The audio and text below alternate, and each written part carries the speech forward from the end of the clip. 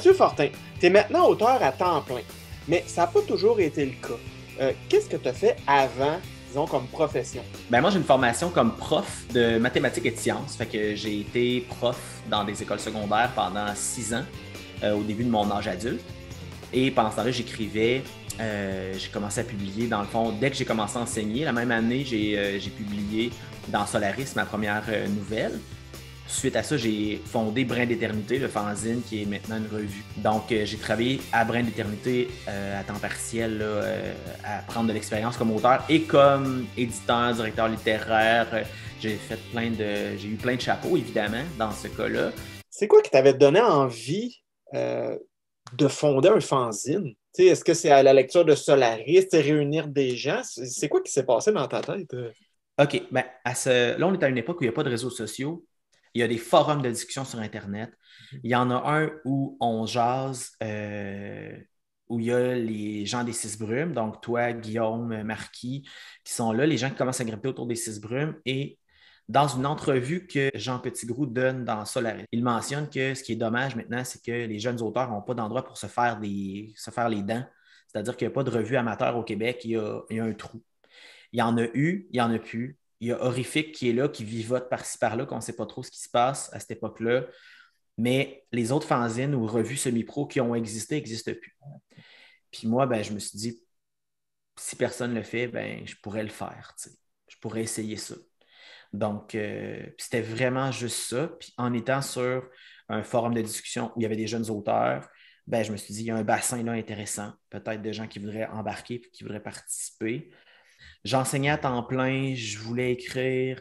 Euh, la revue pouvait étrangement me prendre beaucoup de temps, de lecture, de commentaires, de. Puis là, ben, fallait je voulais qu'il y ait des critiques de livres, critiques de films, des articles. Fait que là, je devais écrire aussi ce genre de trucs-là. Puis je n'étais pas tout le temps certain d'être la bonne personne pour le faire, mais personne ne le faisait, donc je le faisais. Dans le fond, j'ai fait trois ans, 2004 à 2006, 12 numéros plus un hors série de mémoire. Là. Euh, puis, en cours de route, Guillaume Voisine avait embarqué dans la direction littéraire de certains textes et je lui, ai demandé est-ce que tu voudrais continuer? Parce que moi, j'arrêterais. Et il a dit oui. Donc, il s'est formé un comité et ils ont continué euh, la revue. Mais tu sais, à la base, la volonté, c'était d'avoir, d'offrir à d'autres jeunes auteurs comme moi, peut-être la possibilité de vivre ce trip-là, de publier, que moi, je venais de vivre avec ma première nouvelle dans Solaris. J'avais envie de, de développer ça. Puis, Internet faisait qu'on on voyait qu'en Europe, il y en avait plein de fanzines. Donc, euh, pourquoi il n'y en avait pas ici? C'est un peu ça, la, peu ça la, question que je me posais. Puis, je me suis lancé. Puis, tu sais, aujourd'hui, ça fait, ça fait 18 ans de ça, je pense, à peu près. Tu sais, mhm. c'est rendu un adulte, Brin Éternité. Et pendant ce temps-là, j'écrivais, j'écrivais, j'écrivais. Et en 2008, j'ai publié un premier livre aux six brumes, donc dans la collection Nova de petit format. Et j'ai lâché l'enseignement parce que je, voulais gagner du temps d'écriture, du temps de. Enseigner, c'est être présent à l'école, mais c'est être mentalement présent dans la préparation, la correction, euh, plein de gestion à faire. Donc, j'avais besoin de temps. Et euh, après quelques, presque une année de flottement, je me suis retrouvé à animer dans un musée. Donc, je me suis retrouvé responsable de tout ce qui était médiation dans un musée visite guidée, euh, groupe et tout ça, euh, jusqu'en 2019. Donc, euh, fin 2018, avec ce que j'avais publié, avec ce qui s'en venait dans mon horaire, avec les animations scolaires, chose que je fais beaucoup, ben, j'avais plus de temps pour aller à mon travail. C'était aussi simple que ça. J'ai fait mon horaire et j'avais, de janvier à juin, j'avais genre 10 jours où je pouvais aller travailler. donc, j'ai dit à mon patron, désolé, mais ça veut dire que ça marche assez mon affaire pour que je me lance. Donc, voilà, c'est donc depuis 2019, ce qui veut dire que c'est ma quatrième année euh, où j'écris à temps plein. Parmi tes œuvres, est-ce qu'il y en a qui ont vraiment changé quelque chose dans ta carrière? Mon premier, c'est sûr que le premier livre, c'est toujours une étape importante. Donc, Le loup du sanatorium au Six Brumes, qui m'a permis, de un, de publier pour la première fois avec mon nom sur le livre, ce qui était vraiment pour moi un accomplissement incroyable. Ça m'a permis de rencontrer des gens. Ça m'a permis de vivre des salons du livre euh, aussi. Donc, de faire une espèce de trip de gang avec ça. Euh, et ça m'a permis de, commencer à faire les zones frousses aux ailés, qui étaient de, l'épouvante vraiment jeunesse. Alors que le loup du sanatorium, c'était un truc euh, ado-adulte. Là, c'est un peu, un peu flou, la limite, elle est où là-dedans? Alors que là, les zones frousses, c'était vraiment pour enfants et j'ai pris goût vraiment à écrire pour les plus petits. Mais entre-temps, ben, j'avais des projets pour ados, des projets plus adultes chez Coup de tête aussi, euh, qui se dessinaient jusqu'en 2013. Et en 2013, ben, je me suis retrouvé avec plein de projets, mais pas d'éditeurs avec qui travailler. Donc, j'ai été obligé de, repenser beaucoup ma façon de travailler, ma façon d'écrire, ma façon de concevoir euh, ma carrière. Et ça m'a fait réaliser que avoir des enfants, avoir un travail, avoir l'écriture en plus qui chapeaute un peu tout ça, c'était complexe. Donc, j'ai essayé de trouver une façon de pouvoir me rendre jusqu'à ne faire que ça. Euh, donc, d'avoir fait jeunesse, ça m'a amené aussi à me dire, ben, c'est peut-être ça la voie la plus intéressante parce que ça va m'amener les animations scolaires aussi, que j'aime beaucoup faire, mais il y a quand même, on ne se le cachera pas, il y a de l'argent intéressant à faire dans les rencontres d'auteurs, dans les écoles. Donc, c'est un peu ça l'idée, c'est que j'ai axé ma carrière vers l'écriture pour les préados et les ados, entre autres à cause de ça. Et en 2016, j'ai publié Mathias, qui est un drame en fait. J'ai exploré autre chose sur l'obésité à l'adolescence et ça m'a amené dans, avec de nouvelles rencontres dans de nouvelles écoles. Puis après ça, ben, c'est sûr qu'il y a des jalons importants pour moi comme prisonnier du gym chez Bayard et Nosophobia chez Bayard. Euh, donc, un plus gros éditeur que ceux avec qui j'avais fait affaire avant, qui m'a amené vers autre chose. Euh, puis après ça, ben, chez Héritage, avec les frissons, les sphinx, j'ai exploré le thriller. J'ai vraiment, vraiment aimé ça. Je tombé en amour avec ce genre-là. Euh, Maxime Super Puissante pour les plus petits. Chez, chez Andara aussi, j'avais envie de travailler des super-héros. Eux, ils ont dit oui. donc, ce qui fait qu'aujourd'hui, je multiplie les projets un peu partout. Voilà. Ce que je trouve intéressant dans ton parcours, c'est la, appelons ça la variété des projets, mais des, genres en fait. Tu sais, as fait autant jeunesse adulte, science-fiction, fantastique, réaliste, euh, alouette. D'où vient cet intérêt pour la variété? Tu sais, j'essaie d'écrire ce que j'aurais voulu lire à certaines périodes de ma vie. C'est un peu ça, un peu ça que j'ai en tête quand j'écris. Mais j'aime. Euh, ce que j'aime dans la variété, en fait, c'est l'optimisation du processus. C'est-à-dire que si je réfléchis à un trailer pendant que j'écris un drame, ben, ça ne se nuit pas, les deux projets, ils ne se parlent pas nécessairement, c'est plus différent. Alors que réfléchir à un roman d'horreur quand tu écris du trailer, c'est quand même très proche dans la forme. Donc, euh, il y a danger que les idées coulent d'un projet à l'autre. Je sais pas si tu comprends ce que je veux dire, là, mais tu sais que les idées de l'horreur s'insinue tranquillement dans le trailer, puis que le trailer prenne une tournure un peu plus sombre que prévu. Puis après ça, quand il est temps d'écrire l'horreur, ben, avoir l'impression de se répéter, c'est un peu plus risqué. Alors que si je fais du trailer un peu plus euh, réaliste, puis après ça, je fais euh, avec un mode trailer, mais de la science-fiction, ben, il y a moins de danger que les idées se contaminent d'un projet à l'autre. C'est un peu ça. Puis euh, c'est aussi pour ça que je fais du documentaire maintenant aux éditions Petit Génie. C'est que je peux écrire le matin, euh, de la fiction jusqu'à m'épuiser, mais l'après-midi, faire du documentaire, c'est tellement différent que je suis capable d'être encore concentré, d'aller chercher une autre ressource de concentration pour rentabiliser, mes journées. Moi, j'ai beaucoup de difficultés à me dire je ne travaille pas cet après-midi. Je prends ça relax. je suis en écriture à la maison, je veux essayer d'être le plus efficace possible, le plus longtemps possible. Donc, c'est un, peu, un peu ça qui se passe. Et d'avoir plusieurs projets qui se, qui se chevauchent ou qui se suivent de près, ça permet d'avoir un, projet qui est en lecture chez un éditeur pendant que je travaille sur un autre projet. Donc, je n'ai pas de moment tant que ça d'attente entre les projets, dans le sens où, quand l'éditeur va me revenir, ben, je mets l'écriture de côté, je fais mes révisions, mes corrections, et ainsi de suite. Là, je me balance entre les deux, euh, trois projets. Le danger là-dedans que j'ai rencontré dans, la dernière année plus, euh, plus principalement, c'est quand les éditeurs répondent tous en même temps ou quand tous les projets sont au même stade parce qu'ils ont la même date de parution. Donc, euh, c'est une gestion, c'est minime, mais c'est quand même une gestion d'essayer de, gérer l'horaire par rapport à ça. Tu dois fonctionner avec des plans parce que tu as plusieurs projets de front. comment tu fonctionnes? Je ne suis pas Patrice Cazot. Euh, je n'ai pas des plans de 1 million de pages. Euh, souvent, dans ma tête, j'ai clairement où je veux aller. Et souvent, je fais plus une trame narrative qu'un plan défini euh, très, très complexe. C'est-à-dire que j'ai ma liste d'actions, ma liste d'événements importants euh, auxquels le personnage principal va être confronté et je navigue là-dedans. J'aime pas avoir un plan trop précis parce que ça fait que j'apprécie pas mon travail, en fait. Ça devient du travail si j'ai un plan trop précis et que je m'y colle. Ce que j'essaie de faire, c'est d'avoir un aperçu euh, du découpage par chapitre, donc avec une trame narrative. Mais euh, je me donne, je me donne, à la limite, j'exige même une liberté là-dedans de pouvoir diverger du plan. L'autre truc, c'est que moi, j'essaie d'écrire mes premiers jets très rapidement. Puis après ça, je les retravaille. Fait que, tu sais, c'est pas grave si j'ai pas tant un plan défini parce que je vais essayer d'écrire rapidement. Puis après ça, de retravailler puis de réviser. Mais c'est sûr que euh, des fois, ça fait, c'est ça, ça fait que c'est pas évident de suivre soi-même ce qu'on fait, mais j'aime cette espèce de flou-là, qui est peut-être inefficace, mais qui pour moi m'amène aussi du, euh, du plaisir à jouer, avec les, à jouer avec les idées. Alors que si je prends trop de temps pour faire un plan trop précis, ben j'ai mon plaisir en faisant le plan, puis quand j'écris après ça, ça devient pénible. Puis j'aime pas ça avoir développé un plan, puis finalement diverger après deux chapitres. Fait que j'aime mieux avoir un plan plus sommaire, puis avoir plus de liberté euh, dans ce plan-là.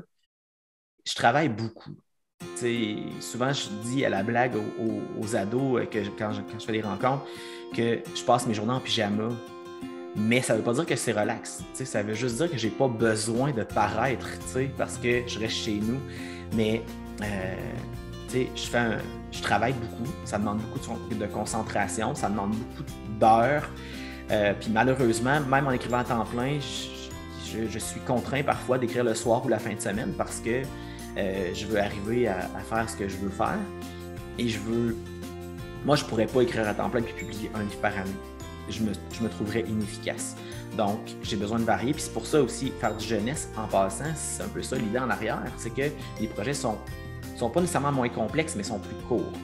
Donc, ça me permet peut-être de justement aller chercher une variété puis une stimulation là-dedans.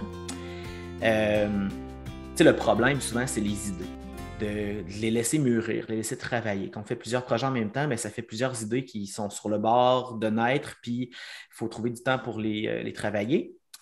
La pandémie, ça a amené pour moi une espèce de drôle de problème où j'ai réalisé que quand je me rendais quelque part en voiture pour faire des rencontres d'auteurs, par exemple, ben, mes idées se travaillaient. Alors que là, en faisant beaucoup plus de rencontres virtuelles, ben, j'ai perdu cette espèce de moment-là de perte de temps, entre guillemets, qui là maintenant existe plus difficilement.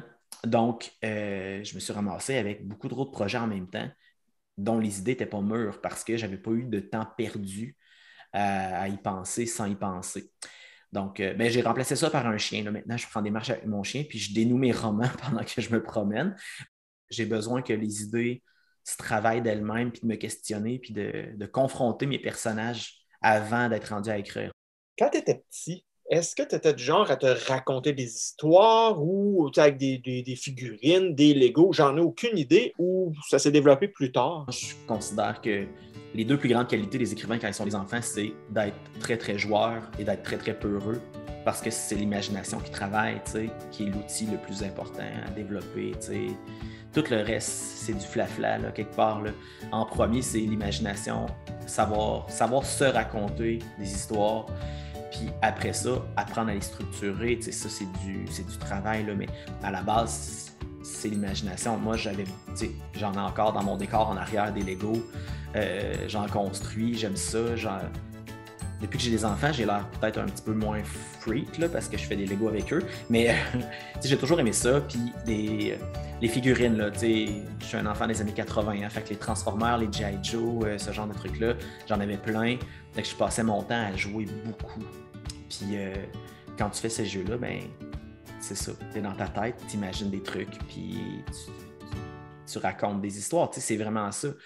Fait que, euh, ouais, je pense que c'est ça la base. J'ai l'impression des fois que les, enfants, s'ils sont trop stimulés, parce qu'ils n'ont pas de temps à qu'ils perdent à jouer justement ou à, être dans leur bulle, ben ils perdent cette espèce d'émerveillement-là d'inventer des histoires. Fait que j'essaie, moi, de garder, de garder ça vivant chez moi et chez, chez mes deux enfants aussi. Dessiner à temps perdu sans avoir un objectif de performance, c'est ce genre de choses-là aussi construire un, construire un phare dans la neige, là, ça a l'air de rien. L'enfant, il travaille, mais lui, il, il voit la bataille qui s'en vient, là, puis lui, il voit peut-être des, vrais soldats habillés dans sa tête, en, en militaire. Mais non, ça va juste être des boules de neige là, sur une structure un peu tout croche. Mais ce moment-là est important parce que l'enfant, il vit quelque chose dans sa tête. Les jeux vidéo, ça peut amener ça, mais en même temps, on est tellement dans l'action quand on joue aux jeux vidéo que moi, je pense qu'on perd un peu de cette saveur-là, de, justement, de la, perte de temps qui est importante. As-tu commencé à lire des romans tôt dans la vie? Si mon souvenir, c'est troisième, quatrième année là, de, mais je ne pense pas que j'étais nécessairement un grand lecteur. Je lisais beaucoup de documentaires. Ça, je me souviens, une collection de livres documentaires qui était bleus, euh, qu'il y avait dans la bibliothèque scolaire. Puis euh, j'ai commencé à lire, euh, tu sais, cinquième, sixième année, là, un petit peu plus. Là, je me souviens une section à ma bibliothèque d'école primaire où il y avait des romans de Daniel Cernine, Denis Côté, La Courte Échelle, puis Médiapol, Jeunesse Pop. Et je me souviens en sixième année d'avoir lu du Jules Verne. Je me souviens d'avoir lu 20 milieux sous les mers, puis de ne pas tout avoir compris mais d'avoir fait des liens avec des dessins animés que j'écoutais où euh, il y avait des clins d'œil. Peut-être que mon goût pour les clins d'œil dans mes romans vient de cette époque-là où j'ai réalisé que dans une série télé de science-fiction, euh, il y avait des clins d'œil dans les noms des personnages à des personnages de Jules Verne. Fait que c'était un hommage qui était fait dans la série télé pour enfants. Euh, j'ai commencé un peu à. Moi-même, je le fais beaucoup dans mes, dans mes romans, des clins d'œil comme ça. Puis à la bibliothèque municipale de, mon, de, ma petite ville, ben, je me souviens, là, en secondaire 1, j'y allais euh, régulièrement. Je prenais une dizaine de romans. Euh, j'ai passé assez vite dans la section jeunesse. Je suis passé à la section adulte avant l'âge euh, qui était minimal requis pour y aller. puis là, je me suis clenché quand j'étais au secondaire. Euh, les romans, euh, j'ai lu science-fiction, puis Pocket SF, j'en ai les livres gris, j'en ai lu à profusion. J'ai découvert plein d'auteurs que, j'ai lu longtemps à ce moment-là. Euh, mais tu sais, chez nous, il y avait des livres. Ma mère, c'est une grande lectrice. Fait que à la librairie de ma petite ville, quand j'étais ado, on avait un tiroir derrière le comptoir où la libraire mettait des livres qui pouvaient m'intéresser peut-être. J'avais comme une. Il était comme réservé. Là. Donc, euh, j'avais accès à ça et évidemment, j'ai lu euh, un paquet de romans style jeu de rôle à cette époque-là aussi. J'ai lu Seigneur des Anneaux en secondaire 2, Les Lances-Dragons, Les Royaumes oubliés, euh, donc ces collections de romans-là chez Fleuve Noir qui étaient traduites de l'anglais. Je lisais du, stock plus ado-adulte quand j'étais pré-ado. Puis j'ai commencé à lire Stephen King quand j'étais en secondaire 1. fait ça, c'est ça. J'ai lu beaucoup quand j'étais ado, principalement. Je me souviens très bien qu'à ma bibliothèque municipale, il y avait des exemplaires de Solaris. Ah. Il y en avait quatre. il, avait, avait, été abonné un an. Dans l'époque où la revue était en format revue, non pas en format livre comme aujourd'hui. Je les avais lus, j'avais reconnu des noms, Francine Pelletier, Yves Ménard, que j'avais lu chez Jeunesse Pop. Et là, j'avais compris que hey, c'est vraiment des auteurs du Québec, puis ils sont réunis dans une revue. J'avais des questions pour Daniel Cernine et j'ai écrit une lettre à la rédaction de Solaris ils l'ont transmis à Daniel, qui était dans le comité de rédaction. Il m'a répondu. Donc, on a correspondu pendant quelques mois euh, par la poste. Là. Je lui ai envoyé des questions, il me répondait, puis euh, c'était super sympathique. Aujourd'hui, on le vit beaucoup plus là, avec les, réseaux sociaux puis Internet, les questions des lecteurs, puis des jeunes, puis des profs, tout ça. Mais là, c'était vraiment. Il y, avait, il, y avait, il y avait du temps, puis il y avait de l'argent mis là-dedans, là, les timbres, puis tout ça que ça m'a beaucoup, euh, ça m'a amené à comprendre que l'écriture à temps plein, ce n'était pas nécessairement quelque chose qui était accessible ou facile, puis qu'il avait, fallait vraiment travailler pour y arriver. Parce que Daniel, c'est un auteur à temps plein, puis il m'en parlait un petit peu de cette réalité-là, alors que moi, j'avais aucune idée de comment ça marchait. J'avais commencé à écrire un petit peu à ce moment-là, donc ça m'a aussi donné le courage d'envoyer une première. J'ai envoyé mon premier texte à Solaris, j'avais 16 ans. Hmm. Euh, puis euh, ça n'a pas marché. Là heureusement. C'était vraiment pas bon, mais euh, c'est ça. C'était quand même. tu vois, ça, c'en est un jalon important, oser soumettre un premier texte. Puis euh, c'est ça. Fait que, c'est là que j'ai réalisé que oui, ça se fait au Québec, puis oui, il y, a des portes qui peuvent s'ouvrir peut-être pour ça tranquillement. Mais il n'y avait pas beaucoup de collections hein, à cette époque-là. Puis dans le roman pour adultes, la science-fiction, c'était par-ci, par-là, il n'y en avait pas tellement. En jeunesse, ben, c'était là que les écrivains s'étaient lancés beaucoup. Euh, donc, euh, Courte Échelle, Québec-Amérique, euh, Pierre Tisser, Médiapol, c'était pas mal ça, là, avec pas beaucoup de maisons d'édition qui en faisaient. Mais moi, j'ai commencé à dévorer. C'est-à-dire que les auteurs que je découvrais dans la revue, s'ils avaient publié des romans, ben, j'essayais de mettre la main là-dessus. Donc, à cette époque-là, j'ai même racheté euh, vraiment beaucoup de vieux numéros de Solaris. Je passais des commandes pour me faire euh, livrer les. J'ai lu les premiers numéros de Requiem euh, qui étaient l'ancêtre de. j'ai vraiment lu beaucoup, beaucoup de nouvelles dans beaucoup de revues au complet. C'était vraiment fascinant d'ailleurs de lire les critiques écrites, mettons, en 82 sur un roman que moi j'ai lu en 95, puis de voir que la science-fiction qui était dans la nouvelle qui était, ou dans le roman qui était critiqué, ben, finalement, ça s'était avéré, même si le critique n'était pas d'accord. Il y avait des choses vraiment fascinantes. Puis à lire commençait à exister aussi à ce moment-là. Il y avait une maison d'édition sérieuse qui voulait faire, faire de la science-fiction, du fantastique. Fait que là, oups, je me disais, OK, il y a vraiment quelque chose, c'est peut-être possible de faire ça, d'écrire puis de publier dans ces genres-là. Un truc ou deux pour un jeune auteur? Ben, moi, je pense que les jeunes auteurs ou les auteurs qui commencent, leur objectif, ça devrait être de réussir à raconter une histoire de A à Z, peu importe la longueur que ça fait. Parce que souvent, c'est ça. la question, moi, que je me fais poser le plus, je pense, quand je fais des ateliers avec des jeunes auteurs, c'est Ah, mais comment tu fais pour avoir des idées jusqu'à la fin? Mais cette question-là, elle ne devrait pas exister, en fait. Écris une histoire jusqu'à la fin. Puis tu verras après des fois, là, ils sont déjà en train de se magasiner des éditeurs, puis ils n'ont même pas écrit encore deux pages. Non, écrit. David Eddings, un auteur américain que j'aime bien, disait On n'est pas auteur avant d'avoir écrit un million de mots, puis de les avoir brûlés. Fait qu'il faut essayer, faut écrire. que ce soit des textes courts ou des textes plus longs. la nouvelle, souvent, on la voit comme un truc avec une twist à la fin ou une chute surprenante. Mais une nouvelle, c'est aussi, pour moi, juste une histoire plus courte, racontée d'une façon différente parce qu'elle est courte, là, mais euh, commencer par ça. C'est juste comprendre la logique de le personnage, il vit quelque chose, il réagit d'une certaine façon, ça amène autre chose. Cette logique-là de l'enchaînement des idées, ben, des fois, elle n'est pas claire. Fait juste te rendre du début à la fin d'une histoire. Pour vrai, la base, je pense, c'est ça. Il faut écrire faut pas penser que parce qu'on a écrit un texte, qu'on va publier ce texte-là. Peut-être qu'on va en écrire 50 avant d'en publier un. Puis peut-être que c'est correct que les 49 premiers ne soient pas publiés. C'est ça. Des fois, on, des fois, on publie des textes, puis par la suite, on se rend compte qu'on n'aurait peut-être pas dû. Donc, euh, c'est bien d'apprendre que ce pas tous les textes qui vont être publiés. Il faut le ramener à. Moi, souvent, je donne, je donne des exemples en dessin parce que je suis vraiment nul en dessin. Puis même si je me pratique, ça, je ne m'améliore pas. Mais il y a des illustrateurs professionnels, quand ils ont commencé, ils n'étaient pas bons en dessin. Est-ce qu'ils auraient voulu que leur premier dessin devienne dans une revue, dans, sur une couverture de livre? Non. Ils auraient voulu, tu sais, ils ont appris. C'est la même chose pour les textes. Pas parce qu'à l'école, tu as appris à écrire un texte avec le récit en cinq temps que tu es capable d'écrire un texte qui se tient. Tu sais. Fait qu'il faut écrire. Écrire une histoire pour toi, ultimement, c'est quoi? Tu sais, raconter une bonne histoire, c'est transmettre l'émotion du personnage au lecteur. C'est un peu comme ça que je le vois. Fait que, tu sais, si je veux que mon personnage ait peur, ben, je veux que le lecteur ressente cette peur-là. Fait que je vais travailler le récit pour que cette émotion-là se transmette. L'écriture, c'est de la télépathie. sais. Je pense à quelque chose, je l'écris sur papier. Quand tu lis, tu penses à cette chose-là. C'est magique. Fait que pour moi, raconter une histoire, c'est ça, c'est essayer de clarifier le canal de communication entre moi, le papier, puis le lecteur, faut qu'il y ait le moins d'obstacles possible. Fait que raconter une histoire, c'est ça. Puis l'écriture, ça se travaille. Le rythme, ça se travaille.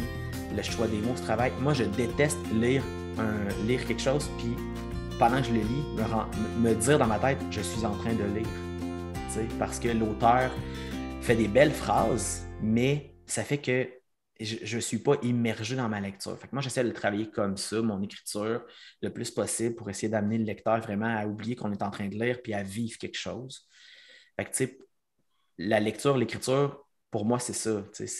C'est vivre l'histoire qui se déroule le plus possible, de façon directe.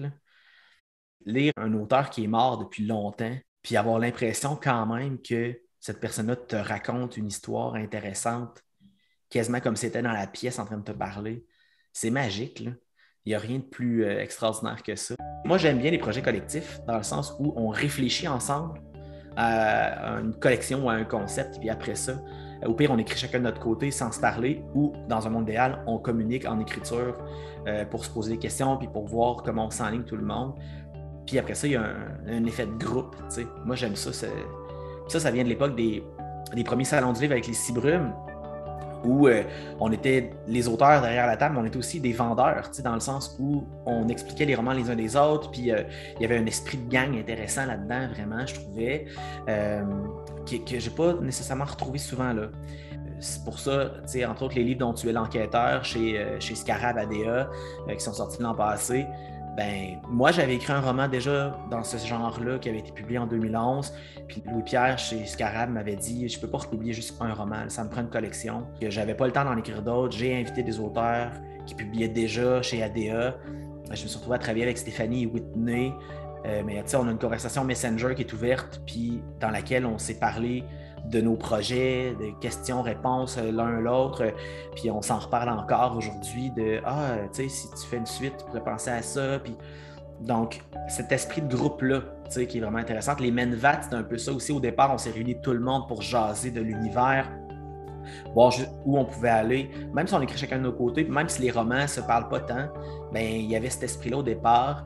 Et bien sûr, Les Survivras-tu qui sortent le 1er avril chez Scarab, horreur pour ados, mais avec des choix narratifs à l'intérieur, un peu sur un mode dont vous êtes le héros, mais où ça vire mal. On a fait des réunions Zoom pour parler du projet, parler des particularités qu'on voulait donner. Euh, on a un groupe Facebook où on s'échange justement en cours d'écriture. Ah, euh, voici mon plan, voici à quoi ça ressemble ce que je fais, euh, voici un extrait, qu'est-ce que vous en pensez? Cet esprit-là pour que la collection soit cohérente. Tout à l'heure, on mentionnait à quel point c'est varié ce que tu fais. Est-ce que dans cette variété-là, il, y, a quelque chose qu'on peut dire Ah oui, OK, c'est du Mathieu Fortin? c'est une excellente question. Euh, je pense que euh, depuis peut-être 2018, là, euh, en 2018, mon garçon avait 5 ans, ma fille avait 8 ans. Fait la famille devenait au centre vraiment, vraiment de mon univers. Les enfants à cet âge-là commencent à aller à l'école, ils ont des amis, un cercle social, la, la famille, le noyau familial s'élargit et s'éclate un peu. Puis je pense pour vrai que c'est ce qui fait que la famille est autant au cœur de mes récits. J'écris une histoire de super-héros où la majorité du premier volume, puis deuxième même, tourne autour de la relation entre la jeune fille qui devient un super-héros et son père qui est inquiet de voir que sa fille va se battre contre des robots géants, puis ce genre de trucs-là. Tu sais, c'est pas tant des scènes d'action que des scènes de famille. Tu sais, mes trailers chez Héritage, mes frissons, c'est beaucoup ça aussi, c'est la relation familiale qui est au cœur de ces récits-là. Mon Menvat, c'est une histoire de famille, d'un père qui fait tout pour ses enfants, puis des enfants qui prennent leur propre chemin.